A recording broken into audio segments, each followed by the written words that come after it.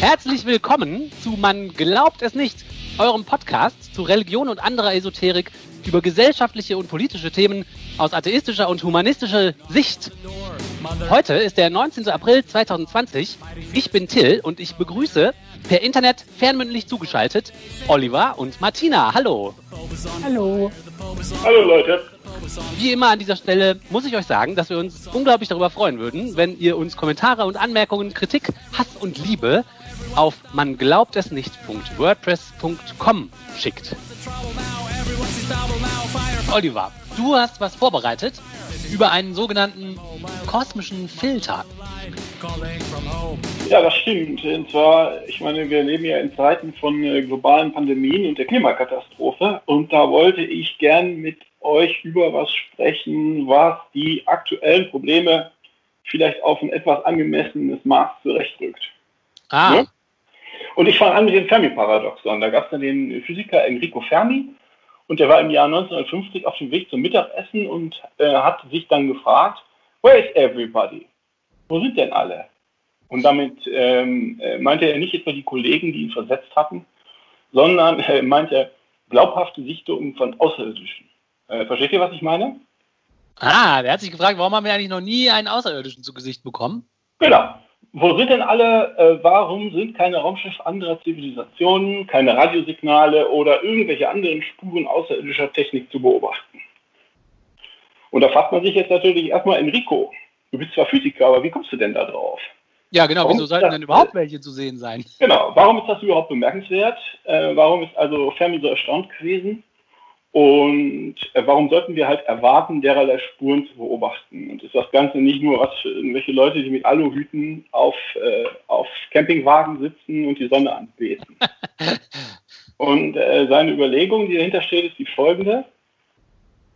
Äh, also die Galaxis, die Milchstraße, ist sehr groß, ungefähr 200.000 Lichtjahre breit, äh, von einem Ende zum anderen. Aber im Vergleich zu der Größe ist sie noch unglaublich viel älter. Das heißt. Es sind 13 Milliarden Jahre aber, oder 13,6 Milliarden Jahre, aber man könnte, äh, wir, wir runden es mal ab und sagen 10 Milliarden Jahre. Also warte mal, und? aber du vergleichst jetzt ein Alter mit einer Größe, das musst du nochmal. Äh, genau, das, ja, das mache ich gleich. Äh, aber so, also die ist äh, unglaublich alt und ziemlich groß. Und es gibt in der Milchstraße Milliarden Sterne, die unserer Sonne ähm, ähnlich sind. Und so wie wir gerade feststellen, immer wenn wir welche angucken, äh, stellen wir fest, dass es da auch Planeten gibt. Das heißt, viele dieser Sterne werden wohl auch Planeten haben, auf denen sich dann zumindest theoretisch irgendwie hypothetisch gesehen Leben entwickelt haben könnte. Und das sind aber unglaublich viele.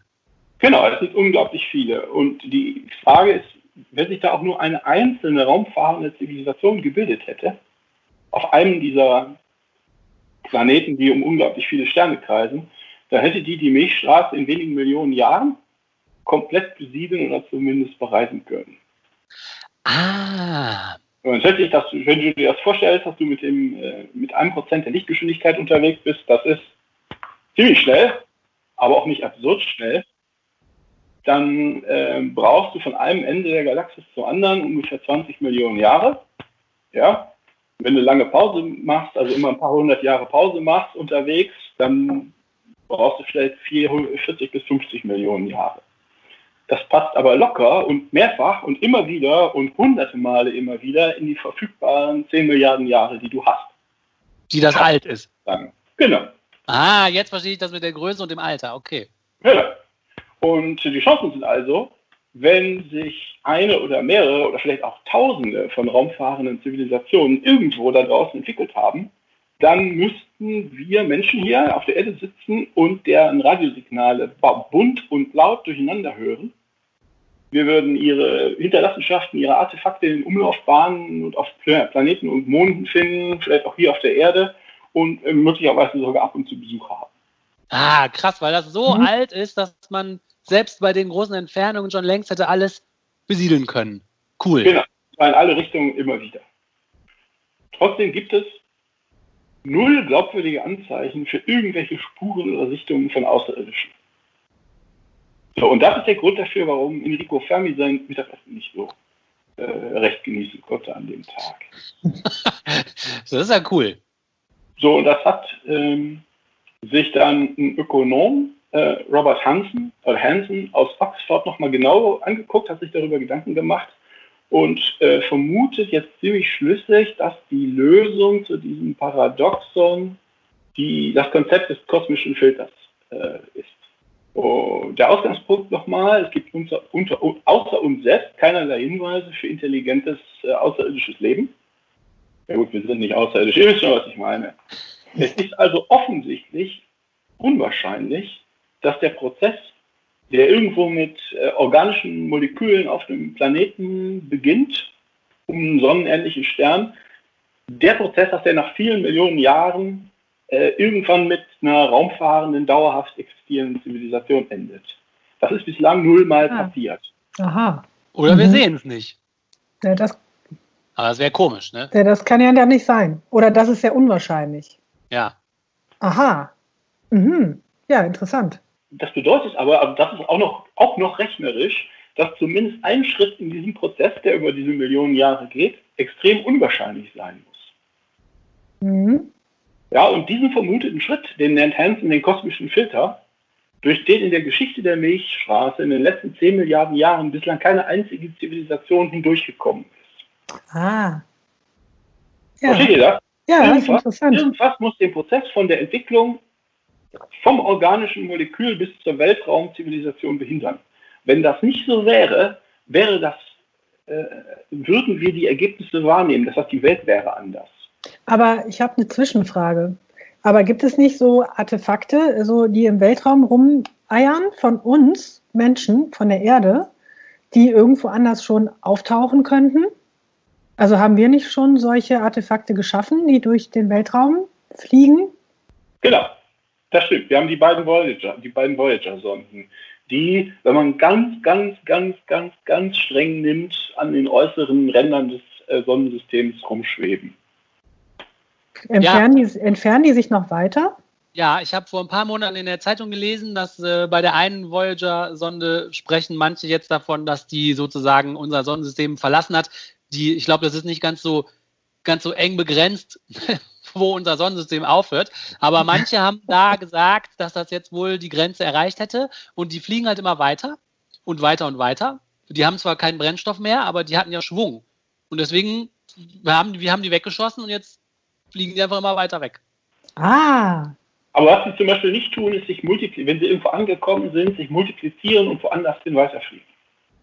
Nee, das tun die vermutlich nicht. Also das allein wird nicht reichen, diese beiden Dinger werden nicht reichen, um das Milchstraßensystem zu kolonialisieren. Nee. Nee, aber vielleicht könnten die mal von jemand entdeckt werden, also gesehen. Ja, möglich. möglich. Also der äh, Robert Hansen hat sich äh, eine Reihe von Punkten äh, ausgedacht oder eine Reihe von Schritten identifiziert, die man bräuchte, um eine äh, weltraumfahrende Zivilisation äh, irgendwann zu erreichen. Und er sagt, erstens, du brauchst überhaupt mal ein geeignetes Sternensystem, wo organische Moleküle rumfliegen und wo es zumindest potenziell bewohnbare äh, Planeten gibt. Du brauchst selbst reproduzierende, einfache Moleküle. Du brauchst einfache Einzeller. Du brauchst komplexe Einzeller dann erfinden die Einzeller, weil, wahrscheinlich weil die sonst zu langweilig ist, die sexuelle Fortpflanzung. Dann gibt es äh, mehrzellige Lebewesen. Die mehrzelligen Lebewesen, einige von denen fangen an, äh, Werkzeuge zu verwenden und bilden dann eine Intelligenz. Also intelligente, Werkzeug äh, benutzende, ja, Lebewesen, da gibt es bestimmt auch ein Wort für, das mir gerade nicht einfällt. Äh, dann sind wir jetzt bei acht. Das wäre die technische Zivilisation, das ist da, wo wir jetzt sind. Und neun wäre die Weltraumfahrt mit koloniebildender Explosion. Also einfach nur Sachen in den Weltraum zu schicken, ist noch keine einzelne Stufe, sondern das ist einfach nur rein technisch, sondern das Kriterium wäre, dass man so weit entwickelt ist, dass man die Spezies selber in den Weltraum schickt, auf eine Art, wo die sich weiter leben und verbreiten können, ne? Ja, oder sich, multi oder sich halt multiplizierende Artefakte. Okay. Von oder sowas. Aha, okay, also technische Hilfsmittel, die in der Lage sind, sich selber zu reproduzieren, wären auch gültig. Ich habe keine Ahnung. Also das ja. ist halt, es ist halt rein hypothetisch. Es kann auch mehr als diese neun Schritte geben. Das ist eigentlich nicht wirklich wichtig. Okay. Ähm, also es ist nicht zentral, dass es jetzt genau diese neun Schritte sind. Aber es ist erstmal plausibel, wenn du anders zählst, kommst du auf, auch auf mehr. Aber wichtig ist, ähm, oder zentrales Argument ist, mindestens einer dieser Schritte muss für sich entwickelndes Leben enorm schwierig zu bewältigen sein. Sonst wäre der Weltraum voller Kolonien nicht so still, wie wir ihn wahrnehmen. Ja. Und so, welcher und das, ist es? Ja, dazu kommt nämlich jetzt. Äh, das ist ja das Ist ja erstmal, das ist ja erstmal eine Ex-ante-Überlegung, aber es kommt noch eine Beobachtung dazu, die, wir doch zu dieser Überlegung dazu äh, nehmen müssen. Wir, wir Menschen existieren und wir sind bei Schritt 8. Ja. Wir existieren aber noch. Das heißt, es wird aus der Ex-ante-Betrachtung in aller Unschuld eine deutlich bedrückendere Ex-post-Überlegung, weil Nicht wir das wissen, dass wir existieren.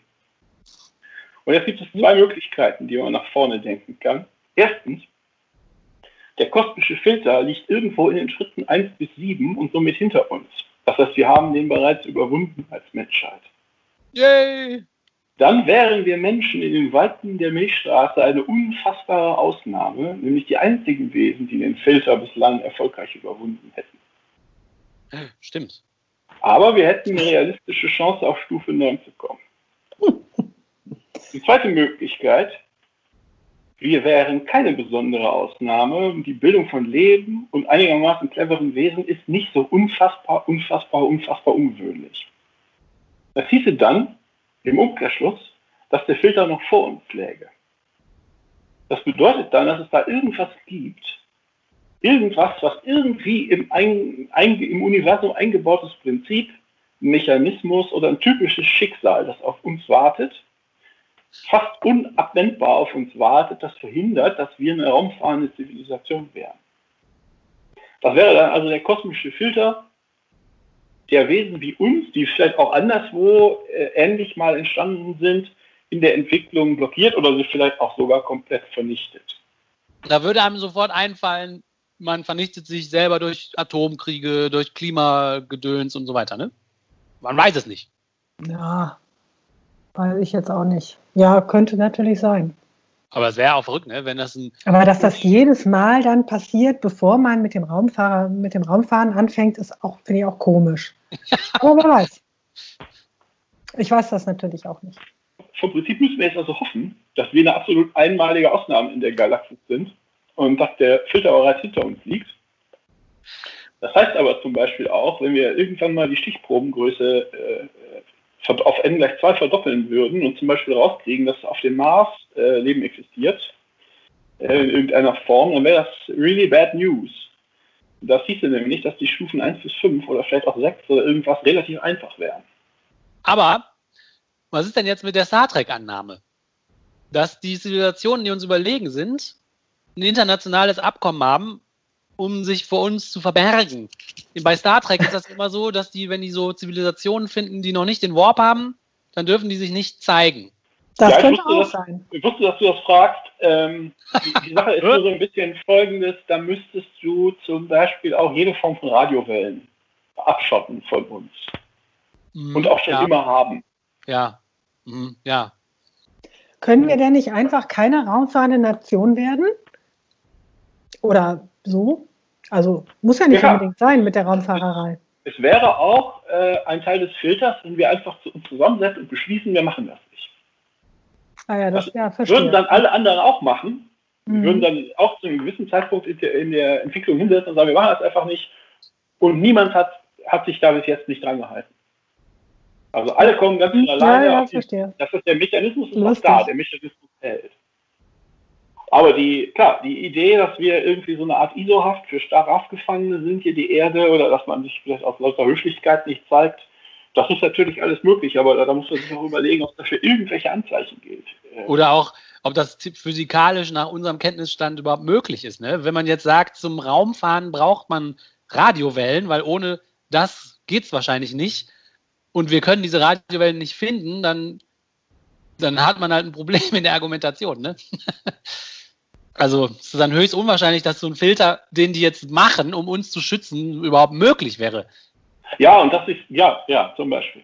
Und da müssten sich dann auch alle einigen. Ne? Und das wäre auch schon. Das können wir ja noch nicht mal so auf der Erde, ne? uns alle einigen. Das ist jedenfalls interessant, finde ich. Ja, das ist total verrückt. Weil nämlich einerseits mein atheistisches Herz möchte ja nicht, dass wir jetzt was ganz Besonderes sind, weil das natürlich sofort Tür und Tor eröffnet für Leute, die sagen, siehst du, wir sind was ganz Besonderes. Gott, Gott, Gott. Auf der anderen Seite ist es natürlich auch schade, wenn man sagt, ja, wir sind eben nichts Besonderes, aber dann bedeutet das, dass wir uns halt selber auslöschen wahrscheinlich oder irgendein anderes Schicksal auf uns wartet. Ich weiß es auch nicht. Äh, ich habe, äh, mein Gefühl ist auch, dass da was nicht stimmt mit der Argumentation, aber ich wüsste nicht was. da müsste man sich vielleicht nochmal eingehender damit beschäftigen. Ja, es ist ja auch so, dass das Wissen äh, um kosmische Zusammenhänge ist jetzt ja recht eingeschränkt bei uns. Korrekt.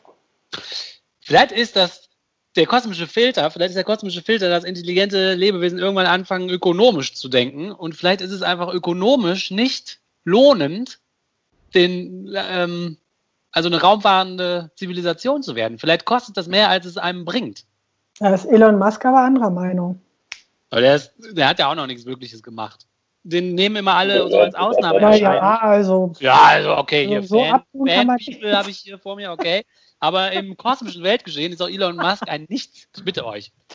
Weil er ein Akkuauto erfunden ja, hat. Ja, aber ja, ich meine, der will das halt ernsthaft und hat ja auch schon so eine Rakete. Das ist ja schon mal mehr als andere Leute zu bieten. hat die NASA doch auch. Also, ja gut, also der ist halt der einzige Privatmann, der eine Rakete hat. Aber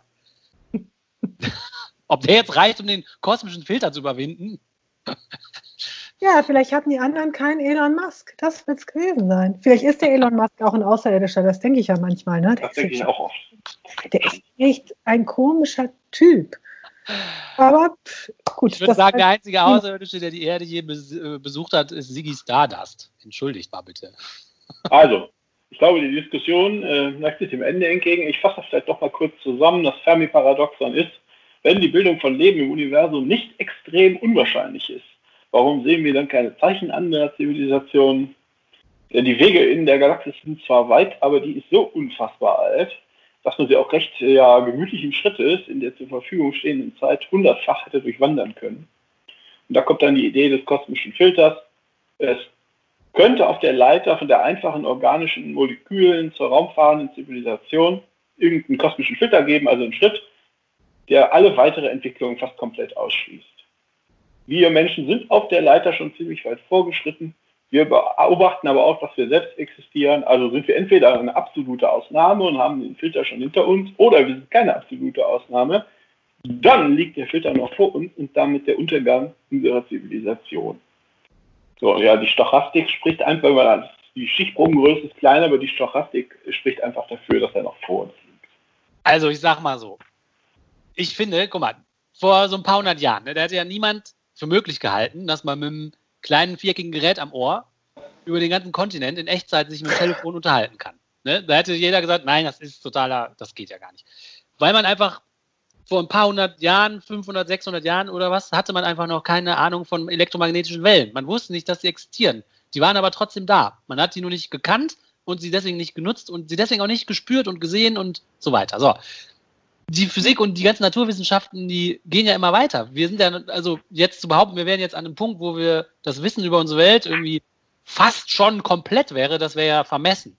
Wer weiß, ob es nicht noch Phänomene gibt, die wir einfach noch nicht entdeckt haben, weil wir noch nicht so weit sind, äh, die dann diese ganze Sicht auf den kosmischen Filter nochmal ganz anders dastehen lässt. Ja, aber das löst das Fermi-Paradoxon nicht. Doch, weil das könnte sein, dass die da sind und wir sehen die nicht, weil wir halt eine bestimmte Art zu gucken noch nicht gelernt haben. Ja, aber gibt es da irgendwelche Anzeichen für, dass das so ist? Da gab es auch nicht für elektromagnetische Wellen. Dann irgendwann hat man die entdeckt. Ja, ja, wer weiß, kann sein. Hoffen wir es. Möglich, möglich. Gut, ich bin fertig. Das ging schnell.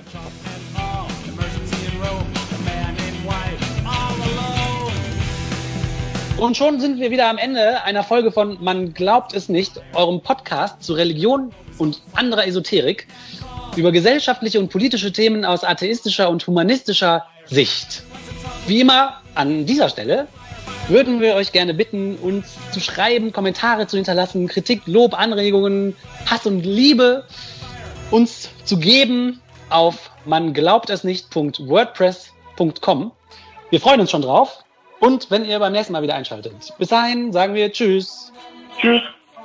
Tschüss. Cause only smoking on that offense where I'm a grown-up man